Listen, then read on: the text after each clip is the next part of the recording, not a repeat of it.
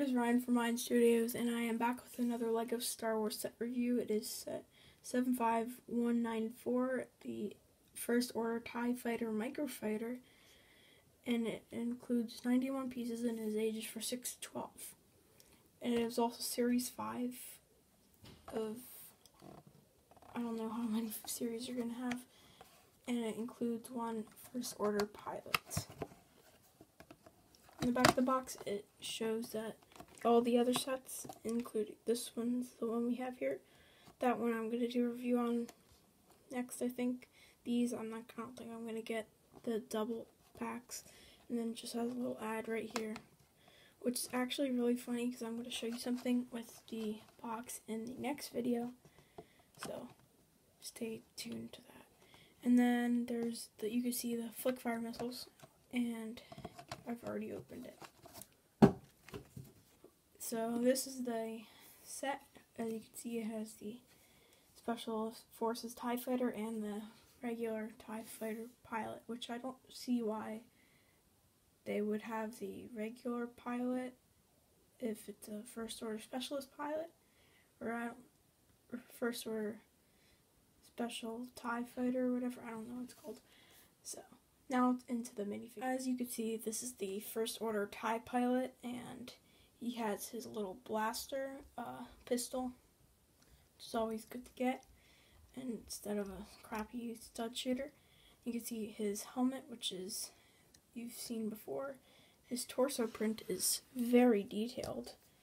He has that angry clone face, and he has a lot of details, some packs. I guess there's like a thermal detonator there, I don't know. On the back there's not as much printing, but it's fine. You can see a little bit of like printing. And the one thing problem I have with this set is like this is the first order specialist TIE fighter pilot and that's just the regular one. So I don't see why they would have this minifigure in here because I guess he's only in like this one set which is the Kylo Ren's TIE fighter, so that just doesn't make sense to me.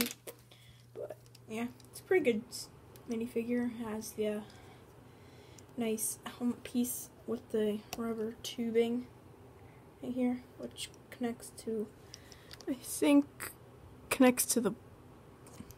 So you can see how there's two dots right here. That that the other one is where that connects. So it's like that. Yeah, it's pretty good. So now for the microfighter itself. And this is the microfighter. It has the red pattern as the 2015 set has with the red on this side and the black on this side.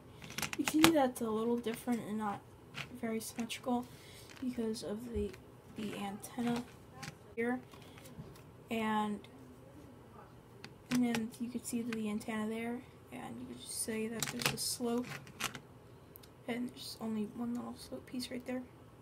said you can see this windshield, which I'm not the biggest fan of, and I don't like the inclusion of that white piece. It doesn't look that great. I, but there's I can see it, there's no way for it to be cut in half because of the you can't unless they'll have to do that the double mold the pieces because of the different color, which they're never gonna do because it's expensive. You see, it has the two engine pieces, and you can see the red visor for the second. The Special Forces TIE Fighter has a seating for two minifigures, you know, it's just for one minifigure. And the wings are the exact same thing, which are pretty strong. They're held together by a total of four studs and friction between due to these. You see the black and white, or not the the black and light bluish gray coloring. You see the one by two plates right there. Yeah. And then right here is the feature, which is to flick out the flick fire missiles. I think you're supposed to do this, but it hurts. Yeah. I've kind of, I'm, I prefer these than stud shooters, but you know, it's whatever. And this is the, and you can see that the just dropping it. And like, okay, that fell. And you could put minifigure in. You might want to keep his gun out, um, or if you just have his hands like that, but fit him in. And it's very switchable, like most microfighters, which is the initial point of them, I guess.